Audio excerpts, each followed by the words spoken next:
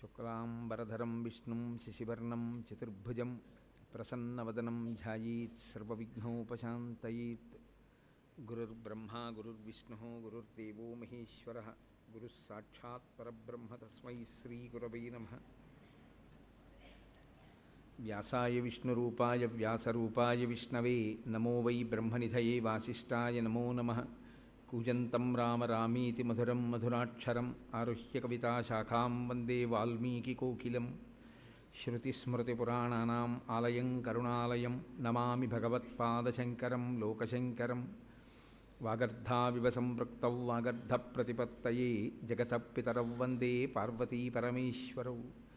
सूक्तिं समग्रे तु न स्वयमेव लक्ष्मीः श्रीरङ्गराजमहिषीमधुरैः कटाक्षैः।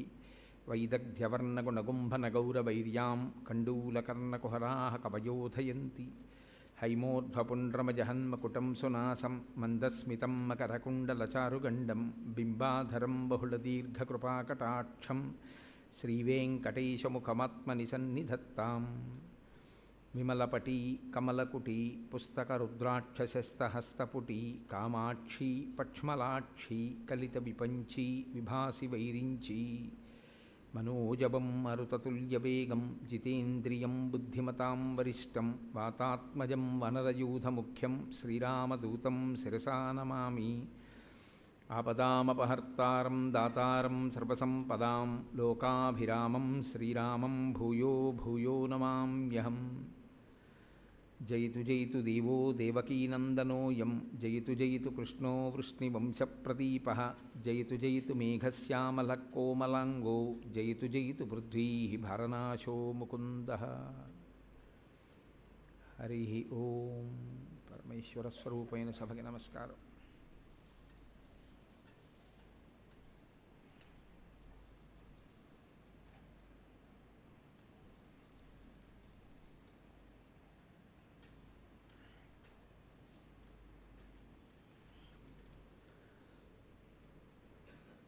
శ్రీమద్భాగవతం దశమస్కంధం. శ్రీరామాయణంలో సుందరకాండకి ఎంత ప్రభావం ఉన్నదో ఎంత శక్తి ఉన్నదో భాగవతంలో దశమస్కంధానికి అంత ప్రఖ్యాతి. భాగవతం చదవడం ప్రారంభం చేసినటువంటి వారు దశమస్కంధంతో మొదలు పెడతారు. మొట్టమొదటి ప్రథమ స్కంధంతో చదవరు. దశమస్కంధం చదివి ప్రథమ స్కంధం చదివి అక్కడి నుంచి వరుసగా వస్తూ మళ్ళీ దశమస్కంధం చదువుతారు. అంటే పారాయణ జరుగుతుంది దశమస్కంధం. రెండో మాట చదువుతారు. అలాగే భాగవతం చదివి శ్రీరామాయణం చదివేటప్పుడు ముందు సుందరకాండ చదువుతారు. చదివి తర్వాత బాలకాండ చదువుతూ సుందరకాండ చదివి యుద్ధకాండ చదివి అలా పెడతారు. వెళ్ళినప్పుడు ఏమవుతుందంటే సుందరకాండ మళ్ళీ రెండో మాట చదువుతారు. అందువల్ల సుందరకాండ పారాయణ అవుతుంది. శ్రీరామాయణానికి సుందరకాండ ఎంత శక్తివంతమైన పారాయణ చేయడానికి యోగ్యమైనదిగా ప్రకటింపబడిన కాండో శ్రీమద్భాగవతమునందు దశమస్కంధము అంత ప్రభావాన్ని చూపించగలిగినటువంటి స్కందము అంత శక్తివంతమైనటువంటి స్కందము దీనిలో శ్రీకృష్ణ లీలలు విశేషముగా ప్రతిపాదింపబడ్డాయి. అందుకే దశమస్కంధం పూర్వభాగము ఉత్తర భాగము అని రెండు భాగములుగా విడిపోతుంది. పూర్వభాగమునందు శ్రీకృష్ణ లీలలు చాలా కనపడతాయి. ఈ శ్రీకృష్ణ లీలలకు ఒక శక్తి ఉంది అని పెద్దలు అప్పటి నుంచి ఇప్పటికీ ఆ మాట పరమ సత్యము. చెప్తూ ఉంటారు.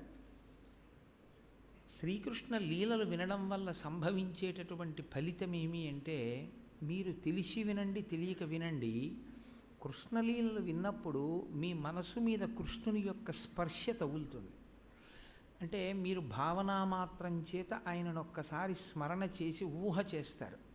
ఆ ఊహ చేసిన కారణం చేత కృష్ణపాద స్పర్శ తగులుతుంది. ఆ పాదస్పర్శ తగిలినటువంటి ఉత్తర క్షణంలో పాపరాశి ధ్వంసమవుతుంది. అది అసలు మనుష్య జన్మ ప్రయోజనము. అందుకే శ్రీమద్భాగవతంలో దశమస్కంధాన్ని తప్పకుండా వింటారు. వినడానికి కారణం అది ప్రధానమై ఉంటుంది. అటువంటి దశమస్కంధాన్ని ప్రారంభం చేస్తూ మహానుభావులు పోతన గారు ఒక విషయాన్ని ప్రతిపాదన చేస్తారు. పూర్వం మధురా నగరాన్ని పరిపాలించేటటువంటి యదువంశములకు చెందినటువంటి రాజు శూరసేనుడు ఆ శూరసేనుని యొక్క కుమారుడు వసుదేవుడు. ఈ వసుదేవుడు దేవకుని యొక్క కుమార్తె అయినటువంటి దేవకీదేవిని వివాహం చేసుకున్నాడు. ఆ దేవకీదేవి దేవకుని కుమార్తె ఆ దేవకుడు ఉగ్రసేనుడు ఇద్దరు అన్నదమ్ములు. ఉగ్రసేనుడి యొక్క కుమారుడు కంసుడు. ఆ కారణం చేత కంసుడు దేవకీదేవి అన్నా చెల్లెళ్ళు అవుతారు. అన్నదమ్ముల బిడ్డలు కాబట్టి. వసుదేవుడు వివాహం చేసుకునేంత వరకు కథ ఏ విధమైనటువంటి ప్రతిబంధకం లేకుండా నడిచిపోయింది.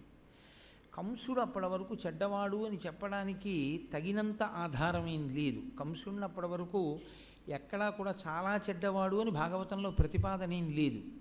కానీ కంసుడు ఆయన నిజస్వరూపం ఎప్పుడు ఆవిష్కరింపబడింది అంటే చెల్లెలికి వివాహం అయిపోయిన తర్వాత తన కూతుర్ని అల్లుణ్ణి దేవకుడు పంపించేటప్పుడు అనేకమైనటువంటి అరణపు నగలిచ్చి పంపించాడు. చాలామంది పరివారాన్ని ఇచ్చాడు. బోలెడన్ని రథాలు ఇచ్చాడు. బోలెడన్ని అంటే కొన్ని వందల మీదే వందలు వేల మీద రథాలు ఇచ్చాడు. అరణపు స్త్రీలను ఇచ్చాడు. ఆభరణాలు ఇచ్చాడు. గుర్రాలు ఇచ్చాడు. చక్కగా వాళ్ళిద్దరూ ఒక రథం ఎక్కారు బయలుదేరారు. కంసుడు వారితో వెళ్ళాలి అనుకుంటే చెల్లెలు బావగారితో తను కూడా ఒక రథంలో వెళ్ళవచ్చు. ఎందుకంటే కంసుడికి సారథ్యం చేయవలసినటువంటి అవసరం లేదు. లోకంలో రెండు పదవులు చేయడానికి చాలామంది విముఖత చూపిస్తారు. ఈ రెండు పదవులకు ఉన్నటువంటి లక్షణం ఏమిటంటే కొంచెం ఏదో న్యూనతాభావం కింద అనుకుంటారు. కానీ అవి అటువంటివేం కావు చాలా గొప్పవే. ఒకటి సారథ్యము. నేను డ్రైవర్ని అని చెప్పడానికి కించిత్ ఏదో తక్కువల భావన చేయొచ్చు. రెండవది ఒక చోటు నుంచి ఒక చోటుకి సందేశం పట్టుకెళ్ళేవాడు అంటే మెసెంజర్ అది తక్కువ స్థాయి ఉద్యోగంగా భావన చేస్తారు. కానీ భాగవతంలో ఈ రెండు ఉద్యోగాలే కోరి కోరి చేశాడు కృష్ణ పరమాత్మ. చెయ్యడం కాదు ఈ రెండు ఉద్యోగాలతోటి రెండు పేర్లు పెట్టుకున్నాడు. నేను పార్థుడికి డ్రైవర్ని అందుకని పార్థసారథి. రెండు నేను పాండవుల పక్షాన సందేశాన్ని తీసుకెళ్ళాను అందుకని నా పేరు పాండవ దూత అని ఆ రెండు పనులు చేసినందుకు రెండు పేర్లు పెట్టుకున్నాడు. యథార్థానికి కారులో కూర్చునేవాడు ఎంత గొప్పవాడైనా కారులో కూర్చున్నవాడి భద్రత ఎవరి మీద ఉంటుంది అంటే కారు నడిపేవాడి చేతిలోనే ఉంటుంది. అందుకని అలాగే ఈ లోకాన్ని నడిపించేటటువంటి సారథి ఆయన ఆయన్ని తీసుకొచ్చి రథం మీద కూర్చోబెట్టుకోవడంలోనే మన విజయం మన భద్రత ఉన్నాయి. కంసుడు నడపక్కర్లేదు దేవకీ వసుదేవులు ఎక్కినటువంటి రథాన్ని. కారణం ఏమంటే ఆయన కూడా ఒక రాజవంశములకు చెందినవాడు రాజకుమారుడు. కానీ ఆయన కూడా వీరొక రథంలో బయలుదేరి వెళ్ళచ్చు ఆయనకు ఒక సారథి ఉంటాడు. కానీ ఆయన ఆప్యాయత అటువంటిది ఆయన ప్రేమ అటువంటిది. కాబట్టి ఆయన అన్నాడు నేనే నడుపుతాను రథాన్ని. రథాన్ని స్వయంగా కంసుడే నడుపుతున్నాడు. వెనక్కాతల కూర్చున్నది కొత్తగా పెళ్ళైనటువంటి దంపతులు. చెల్లెలు బావగారు. బావగారు బావమరిది ఎక్కడైనా కలుసుకుంటే వాళ్ళ మధ్య కించిత్ హాస్య సంభాషణ అన్నది లోకంలో ఉంటుంది. కాబట్టి సంతోషంగా మాట్లాడుకున్నారనే మీరు నేను భావన చేయవలసి ఉంటుంది. ఆ రథం వెళ్ళిపోతోంది. అప్పటి వరకు మీరు కంసుణ్ణి దోషం పట్టడానికి ఏం కనపడదు. కానీ అశరీరవాణి ఒకటి పలికింది. అసలు ఆ మాటకే ఒక పెద్ద రహస్యం ఉంది. శరీరం ఉంటే కానీ వాణి ఉండదు వాణి ఉంది అంటే శరీరం ఉంది అని గుర్తు. శరీరము నుండి జీవుడు వెళ్ళిపోయాడు అనుకోండి శరీరము లేదనుకోండి ఇంకా పలకడం ఏమిటి? కుదరదు అది. శరీరం ఉంటే వాణి ఉంటుంది. శరీరము లేకుండా ఏదైనా పలికిందనుకోండి అది దివ్యవాణి అనవలసి ఉంటుంది. శరీరం లేకుండా పలుకుతోంది. కాబట్టి ఇప్పుడు అశరీరవాణి పలికింది. శరీరము లేనిది ఒక మాట మాట్లాడింది. శరీరము లేనిది మాట్లాడితే అది ఏమై ఉంటుంది? ఏమై ఉంటుందని నేను చెప్పినా దానికి శరీరం లేదు. కదా? కాబట్టి నేను ఇదేం చెప్పడం కుదరదు అసలు. కానీ అది ఏమై ఉంటుందో మీకు నేను తర్వాత చెప్తాను. అది ఆకాశంలోంచి ఒక పలుకు పలికింది. అంటే ఒక శరీరము లేదు కాబట్టి ఎవరు పలికారు అన్నది తెలియదు. తుష్టయగు భగిని మెచ్చగ నిష్ఠుడవై రథము నడిపే ఎరుగవు మీదన్ శిష్టయగు ఈతలోదరి అష్టమ గర్భంబు నిన్ను హరించుజుమి పోతనగారి పద్యాలంటే అలా ఉంటాయి. మహానుభావుడికి అలా పడ్డాయి ఆయనకి పద్యాలు. రామచంద్రమూర్తి అనుగ్రహం. నేను రోజు అదే త్రేయించిన వాళ్ళే అంటుంటాను అదే మాట. ఎందుకంటే వాటి సౌరభం అటువంటిది. అందులో ఉండేటటువంటి వైశిష్ట్యం అటువంటిది. అందుకు కదూ కరుణశ్రీ గారు పొంగిపోయి పోతన గారిని చేతిలో హలమో చేతిలోది ములుగర్రయో చేసెడిది సేద్యమో లేక పద్యమో మంచయందు కూర్చుంటివో మంచమందో కలమా హలమా నీకేది ప్రియం బగున్నని అడిగారు. అసలు పోతన గారు మీరు కలంప హల్ ఆ చేతిలో గంటం పట్టుకున్నారా ములుగర్ర పట్టుకున్నారా నాగలి పట్టుకుని పొలాలు దున్నారా? మీరు మంచెయందు కూర్చుంటిరా లేక మంచమందు కూర్చుంటిరా? మంచెయందు అయితే పొలంలో కూర్చోవాలి. మంచమందు అంటే ఒక ఆసనమునందు ఇంట్లో కూర్చున్నారా? చేసేటిది సేద్యమా లేక పద్యమా? వ్యవసాయం చేస్తుంటారా పద్యం రాస్తుంటారా? అసలు కవియా కడితేరిన కర్షకుండవా? నువ్వు అసలు వ్యవసాయదారుడివా కవివా? కలమా హలమా? నీకేది ప్రియం బగున్? నీకు అసలు కలమా హలమా ఈ రెండింటిలో నిజంగా మీకు ఏది ప్రియం నాకు చెప్పండి? అని అడిగారు. అంటే ఒక పక్క వ్యవసాయం చేసుకుంటూ పరమతృప్తిగా తనకున్న అతి తక్కువ భూమి మీద వచ్చేటటువంటి ఫలసాయంతో తాను పరిపూర్ణమైన తృప్తితో జీవించడమే కాకుండా మహానుభావుడు అంత గొప్ప పురాణాన్ని ఆంధ్రీకరించి లోకులకు అందించారు. కాబట్టి ఆయనకి పడకపోతే ఎవరికి పడతాయి ఆ పద్యాలు?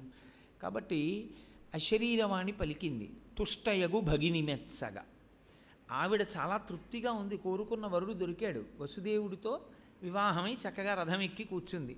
తుష్టయగు భగిని మెత్సగ ఇష్టుడవై రథము నడిపెదవు. నువ్వు చాలా ఇష్టంగా రథం నడుపుతున్నావు. ఎరుగవు మీదన్ శిష్టయగు ఈతలోదరి తలోదరి అన్నారు. అప్పుడే పెళ్ళయింది. తలోదరి అంటే కడుపు బాగా లోతుకుపోయినటువంటి పిల్ల. కడుపు లోతుకుపోయి ఉండడం అనేటటువంటిది సాముద్రికంలో ఒక మంచి లక్షణం స్త్రీకి.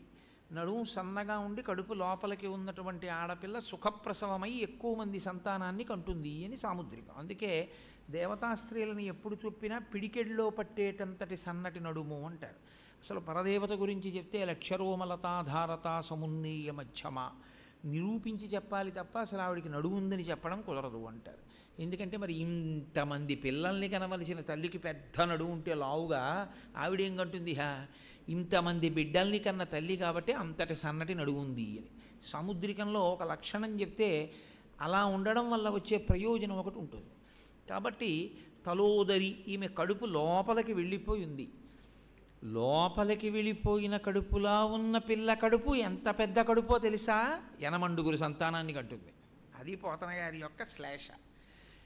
ఈ తలోదరి అష్టమ గర్భంబు ఎనిమిదో కడుపున పుట్టబోయేటటువంటి సంతానం ఆడపిల్ల మగపిల్లవాడా? ఏం చెప్పలేదు. అష్టమ గర్భంబు నిన్ను హరించుజుమి నిన్ను చంపేస్తుందిరా అబ్బాయి అని. ఇప్పటి వరకు కంసుడి ఎందు దోషమేం లేదు. చెల్లెల్ని బావగారిని చక్కగా రథంలో తీసుకెడుతున్నాడు. ఎప్పుడైతే తను చచ్చిపోతాడన్న మాట విన్నాడో రథంలోంచి దూకేశాడు. దూకేసి వెంటనే అప్పటి వరకు సంతోషంగా మాట్లాడుతున్నవాడు చెల్లెలు దేవకీదేవిని జుత్తు పట్టుకుని రథంలోంచి ఈడ్చేశాడు. ఈడ్చేసి మొలలో ఉన్న కత్తి తీసి నీ కడుపున పుట్టబోయేటటువంటి ఎనిమిదవ పిల్లవాడు నా కంఠాన్ని నరుకుతాడు కనుక అంతకన్నా ముందు నీ కంఠాన్ని నేను నరికేస్తున్నానని ఆవిడ్ని చంపైపోయాడు హఠాత్ పరిణామం కదండి. ఊహించడానికి కానీ ఏదైనా ఆలోచించుకోవడానికి కానీ సమయం లేదు. ఇప్పుడు కంసుడు కూడా ఎప్పుడైతే కిందకి దూకాడో వసుదేవుడు కూడా గభాలన రథంలోంచి కిందకి దూకాడు. ఇప్పుడు ఆమెను రక్షించుకోవాలి. ముందు భార్యని రక్షించుకోవడం అనేటటువంటిది భర్త యొక్క పరమధర్మం కనుక ఆయన మాట్లాడడం మొదలుపెట్టాడు ఆ కంసుడితోటి. మాట్లాడే ముందు అనునయ వాక్యము అని ఒకటి ఉంటుంది. ఏ మాట చెప్తే తొందరగా లొంగుతారో దాంతో మొదలెట్టాడు. అన్నవు నీవు చెల్లెలికి అని మొదలుపెట్టాడు. ఎవరైనా ఒకరు చెల్లెలికి అన్నయ్య అనుకోండి ఆ అన్నయ్య అన్న మాటలోనే ఒక మాధుర్యం ఉంది అసలు లోకంలో. అందులో ప్రత్యేకించి తెలుగు భాష ఎంత అందమో అసలు ఆ అన్నయ్య అన్న మాటకున్నటువంటి ప్రేమ అనన్య సాధ్యం. అన్నయ్య అన్నయ్య అని రెండు మాటలు అంటే చాలు చెల్లెలు. కరిగిపోతాడు అన్నయ్య మనసు. ఎన్నో చోట్లకు ఉపన్యాసాలకు వెళ్ళచ్చు అది వేరు. ఢిల్లీ ఉపన్యాసాలకు వెళ్తావా అన్నారు అనుకోండి. ఢిల్లీ ఉపన్యాసానికి వెళ్ళినప్పుడు ఉపన్యాసం ఈ దేని గురించి చెప్తామన్న దాని మీద సంతోషం కాదు. ఢిల్లీలో అన్నయ్య అన్నయ్య అని చెల్లెలు కనపడుతుంది. అన్నయ్య అన్నయ్య అని పిలిచి మాట్లాడి మళ్ళీ పలకరించి అన్నయ్య అన్నయ్య అంటూ వడ్డిస్తుంది. అని ఎంత సంతోషం. అసలు ఆ అన్నయ్య అన్న మూడు అక్షరాలు పిలి